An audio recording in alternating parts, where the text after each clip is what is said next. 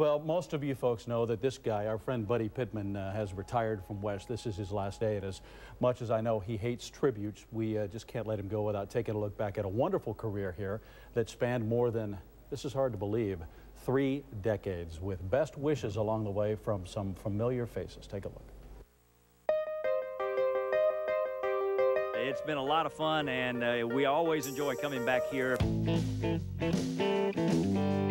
Buddy Baker gets into the rear of Jeremy Mayfield, and the dance is on. Mike Garvey trades a little paint with Dale Jarrett. Garvey gets the worst end of it, and everyone's ducking for cover. Buddy, I can't believe you're finally retiring. I mean, here I've worked for all this time to finally get you somebody to carry your camera. Fresh out of college at Florida State, you took me under your wing and taught me broadcasting Buddy Pittman style. Welcome to Speed Weeks 94. And then gets airborne, barrel rolling seven times. Let's take another look at this mishap from our turn three camera. I know you've been around for a long time. Hey, buddy, after 33 great years of racing, um, we're going to miss you. Thanks for all your hard work and commitment to not only NASCAR, but just sports in general. Indiana State All-American Larry Bird will sign a big bucks contract. We had a chance to see these horses work out this morning at the Ben White Raceway. To make the event even more spectacular was the fight between Yarborough and the Allison brothers. Oh, buddy, you're going to be missed so much. And I think back to 20 years ago when we started this whole magic thing up there, you were. Myself, my family, and I know all of Central Florida is going to miss you dearly. And really thankful to have been your friend and, and have known you. Richie Petty gets nudged coming out of turn four. He gets the e-ticket ride. The first time I ever used e-ticket ride on SportsCenter, somebody came up to me and they said, yo, e-ticket ride, I like that. I like the vivid imagery. I almost took the credit for it. But it's Dave Stacy who gets the e-ticket ride as he goes up and over the dirt bank and rolls down into Lake Lloyd. No, my man Buddy Pittman, back in Orlando, e-ticket ride, trade and paint. Two of the least favorite words in NASCAR racing, and that is restrictor plates. Last year, the UCF Knights set a new attendance record for Division II football teams. We really appreciate what you've done for this program. He's been a supporter of high school athletics in this town for many, many, many years. It seemed like every time you were there, we won. So uh, I don't know what we're going to do if you're uh, if you're not there. We always turned around. There was that familiar face always with a smile on it, always very positive. And you were class and integrity personified.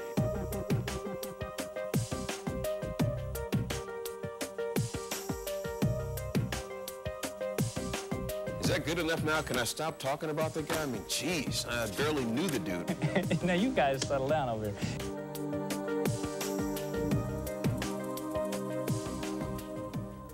Right, quick story that reflects the influence Buddy has had on people through the years. It was back in the mid-70s, Buddy, already a veteran here at WESH, when he agreed to meet with a young kid visiting Orlando, fresh out of college, looking for some advice on getting into the business. As the story goes, Buddy stepped away from what he was doing, gave the young kid his full attention, encouraging with every word, assuring the sportscasting hopeful that the cream always rises to the top.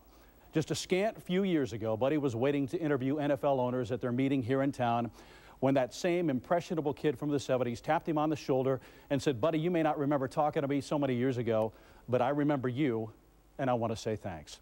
Tonight, that same impressionable kid wants to say good luck. Uh, I met Buddy. I'm Chris Berman of ESPN, by the way. I was not, there was no ESPN when we first met, and he was kind enough to give me some words of wisdom. I was going through Florida, trying to get some people to look at my tape. Do you think you can hire this 24-year-old with long hair and a Louis Vuitton Fu Manchu mustache? And he had plenty of time for me, and he spoke to me about the business and gave me some advice on how to go about doing it. And at the end of that trip, oddly enough, I got hired at a TV station in Hartford. Shortly thereafter, ESPN began, and it's worked out okay for me, but it's worked out better for you, buddy, because you know what? You enjoyed your job every day you went to work. And it's hard but you had a relationship in your area, in the Orlando area, when it was a cow town, and now, of course, it's huge, and all sorts of people come through there. You stayed enthusiastic, and you stayed enjoying sports and enjoying television. And you weren't too big, way back when, to give a helping hand to a youngster. So uh, I congratulate you on a marvelous run, and the folks in Orlando will miss you big time. You did go all the way, my friend. Very cool story. Come on in here, young man. You know, you have, over the course of three decades, three plus dec decades, touched the lives of, of so many people. And I, I, know that I can say on behalf of everyone here at WESH, those working right now and those that you worked with over the years, as well as the countless thousands of people who watched you for three decades. Thank you for touching our lives as well. I'm going to miss you, and we hope you come back for Speed Weeks, pal. While Thank you very much, pal. I Okay. appreciate that. James, Appreciate you got that. something for him, don't We you? We do actually have a little something from your friends over at the uh, Orlando Magic. There's uh, Magic jersey number one, and on the back you can Buddy. see it is personalized. All this right. is uh, Buddy Pittman's own jersey, so when you're rattling around the house, you can wear this thing and. Uh, Does, does a and big take your, does uh, a big 10-day contract come with this? now?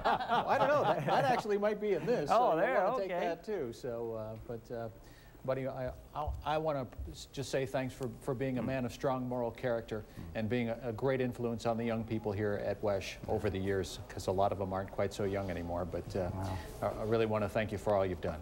and you've said goodbye already. Is there anything you want to say to our fans here in the 20 seconds we have left? Well, first I want to thank you guys uh, for uh, all of this tonight, and uh, just thank everyone for uh, helping me through these 33 years. I mean, it's been a lot of fun, and uh, couldn't have done it without people who worked here at Channel 2 and all of you out there in Central Florida. And so I just thank you very much. Congratulations. Thank you. Enjoy your life. We'll see you soon. Okay. Thank you all.